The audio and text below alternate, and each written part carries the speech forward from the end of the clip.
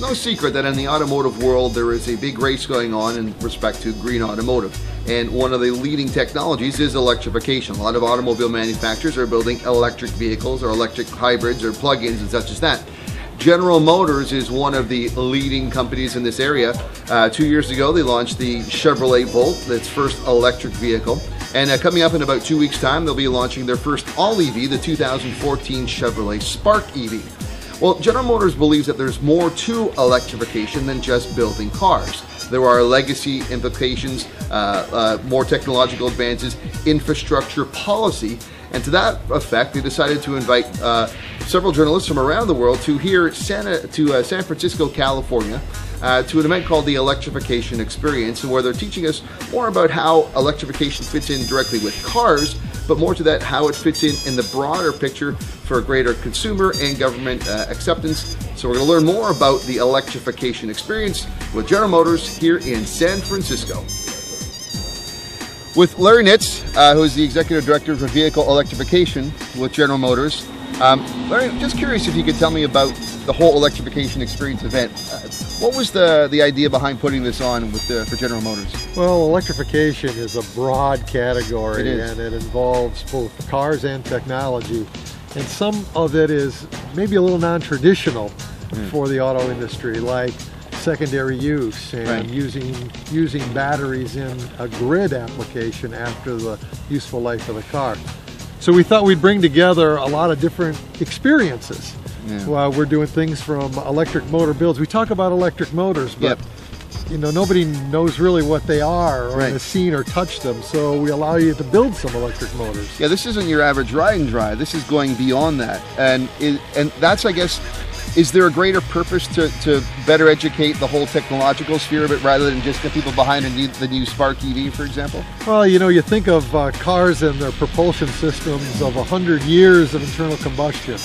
And people know a lot about, the, the media knows a lot about engines and transmissions, but very little about batteries and electric drive. And so the idea is um, to educate the media, to bring the, the people together to show that we don't think of it just in terms of the Volt or the Spark. We think of it in terms of a continuum that's going to change the industry going forward.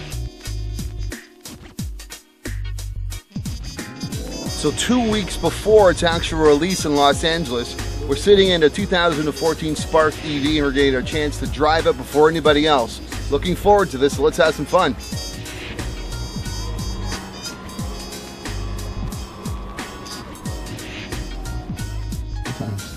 Have you experienced the sport mode? I have not experienced the sport mode.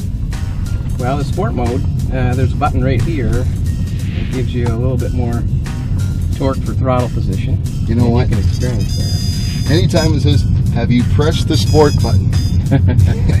well, no, but maybe I should.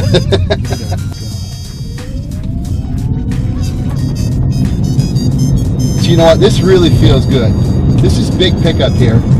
And that's something that um, I guess people driving electrics wouldn't normally expect. That felt nice. Hey, a couple times around the block in the Spark EV, you know about these things? It drives just like a car. That's the best part about it. That was a lot of fun, and I think they've got something going here that's going to work pretty well. All right, so one of the common criticisms of electrification and batteries is, well, end of life, disposal, landfill issues. A lot of the uh, opponents of electrification are really using that as, a, as an excuse. Well, guess what? There is a solution to that. What you're looking at behind me is a backup generator, and inside are end-of-life Chevy Volt batteries. There's a stack of them, and it's another opportunity to take these instead of doing the negative environmental thing, let's use them in a secondary capacity. Think about the potential here.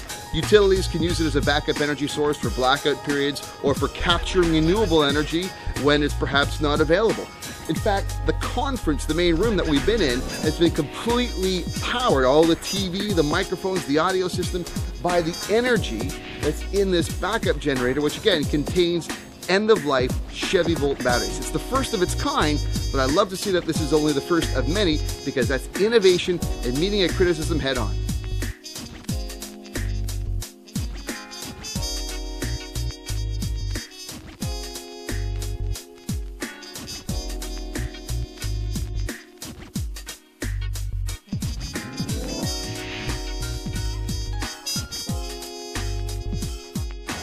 So after two days, several breakout sessions, and even a chance to drive the new Chevy uh, Spark EV before it comes out, I've had a chance to understand that from General Motors' perspective, electrification or the success of electrification is not just about building a good car, which is very important, of course, but they surely understand that it involves a greater capacity to have all the potential answers uh, solved or, or ready for those criticisms that eventually come along through the growth of a new technology. It's something that I found uh, interesting and informative, and I'm glad I had the chance to attend the electrification experience.